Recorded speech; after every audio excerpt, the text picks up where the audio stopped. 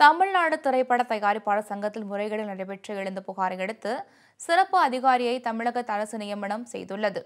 தமிழ்நாடு திரைப்பட தயாரிப்பாளர் சங்க தலைவராக விஷால் பதவியேற்றது முதல் முறைகேடுகள் நடைபெற்று வருவதாக புகார்கள் எழுந்தன. வைப்பு நிதி மற்றும் பல்வேறு வகைகளில் தொடர்ச்சியாக முறைகேடுகள் நடைபெற்று வருவதால் இதற்கு தார்மீக பொறுப்பேற்று விஷால் பதவி விலக வேண்டும் என்று தயாரிப்பாளர் சங்கத்தினர் வலியுறுத்தி வந்தனர். இந்நிலையில் தொடர்ச்சியாக எழுந்த புகாரை அடுத்து தமிழ்நாடு திரைப்பட தயாரிப்பாளர் சங்கத்திற்கு சிறப்பு அதிகாரியை தமிழக அரசு நியமித்துள்ளது.